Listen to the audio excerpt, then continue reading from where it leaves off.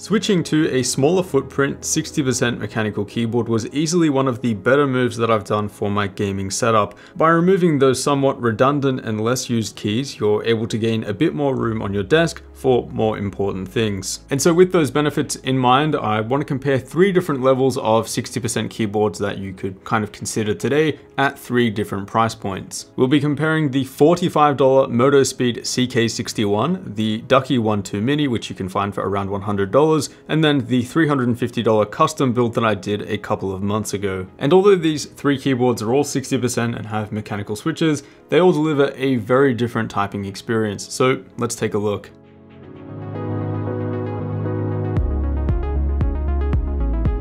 So the point here isn't to find which of these three is the best, because obviously that's going to be the much more expensive custom build. Instead, I want to show and explain the differences between them, essentially by spending more money, what do you get in return? Firstly, here's a quick overview of what we're looking at here. The MotoSpeed CK61 represents one of the cheapest 60% mechanical keyboards that you can find on the market. Then we have the Ducky One 2 Mini, which I personally think is one of the best 60% mechanical keyboards that you can currently buy at just $100. And the one that I've got here has Cherry MX red switches. Then there's my custom built 60% keyboard, which I've been using for a couple of months now and absolutely love. It's got an aluminium 60% case, lubed Tealios V2 switches, and an SA Miami Nights keycap set. So the first thing that we should get out of the way is the difference in build quality and weight between these different keyboards, with the main point being that most off-the-shelf keyboards will have a plastic case, whereas with a custom build you've got the option for a metal case.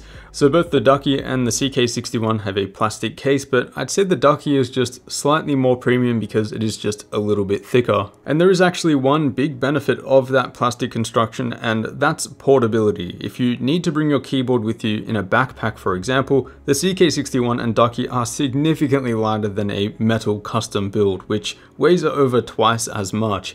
All three of these keyboards have a Type-C connection, and that's something that I wasn't really expecting to see on the $45 CK61. When it comes to the keycaps, this is an added level of customization for a custom build and an entirely separate category in itself.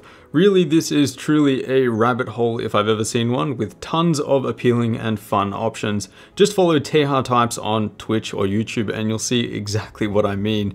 The Ducky One 2 Mini uses double shot PBT keycaps, which feel great to type on. They've got a really nice smooth finish. The CK61 uses double shot ABS and feels a bit more textured. They also have surface printed function layers, which you can expect to wear out pretty quickly. Now let's talk about the switches, and I want to start with the CK61 because the switches on this budget board aren't too bad at all. I chose the Kailh Box white switches, which I just wasn't expecting to be this good at this price point, but the thing I like about them is that they don't feel too scratchy, which I personally find a lot of off-the-shelf tactile switches do tend to feel like. These have what's known as a click bar, so there's a physical bar which clicks inside the switch when you press the stem down.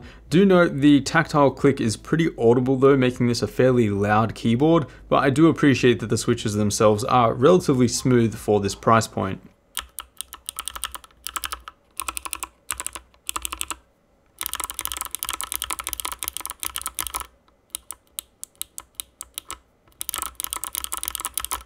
I went with the Cherry MX Reds on the Ducky One 2 Mini, which are just about the most popular mechanical keyboard switch in the world. It's basically the vanilla ice cream of linear switches. They're going to be smooth enough for most users, but coming from a custom build, these do feel slightly scratchy.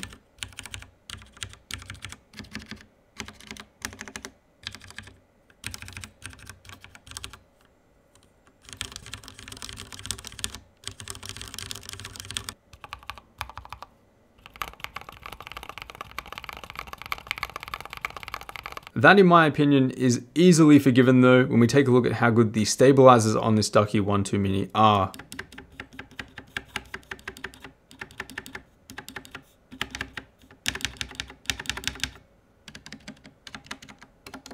I was personally a bit blown away here because this is the first off-the-shelf keyboard that I've used where the stabilizers didn't feel like absolute trash.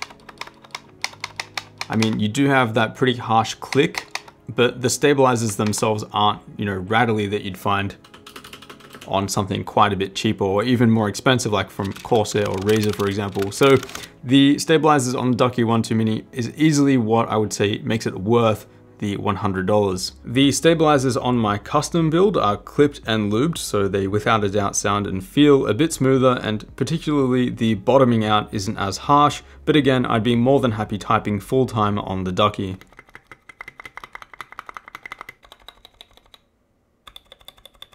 And that brings us to the biggest drawback of the budget CK61. The stabilizers here are really pretty bad, but you can't complain too much at this price point.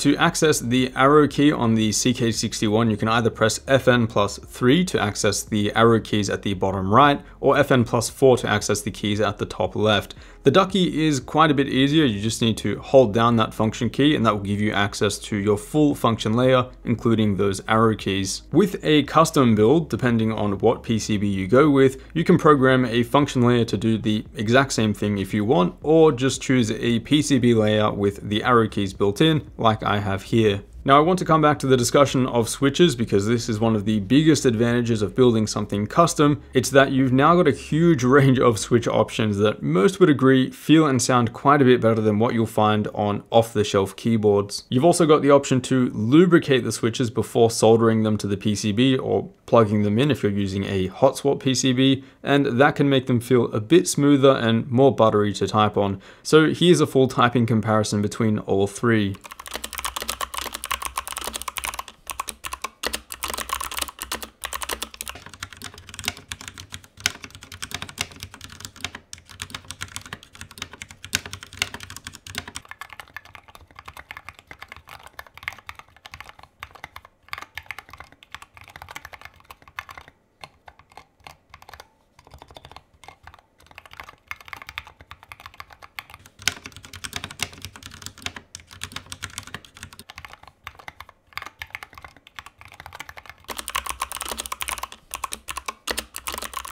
So for most of you watching this, I do think the Ducky One 2 Mini is definitely the way to go. For $100, you're getting a keyboard with some really solid stabilizers. Switches are going to be good enough for most people, and for those wondering, yes, I do consider this better than the Anne Pro 2. Beyond this, a custom build will set you back a lot more money, and let's not forget that you also need the tools at hand to assemble it. That's not to say that custom builds aren't worth it though, I regret absolutely nothing with my build to try and get the best typing experience that I can. If you are someone who uses a keyboard for a significant portion of your day, a 350 to $500 custom keyboard isn't actually that bad when you can consider how much it gets used, not to mention if it makes your workflow a bit more efficient and more enjoyable. And I can also appreciate custom mechanical keyboards as a legitimate hobby and something to get excited about, although it can look a bit pretentious from the outside.